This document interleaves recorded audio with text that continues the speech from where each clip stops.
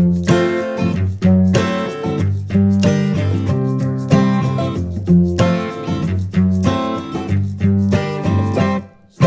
cold moon is shining and the stars are aligning and I'm here knocking at your door.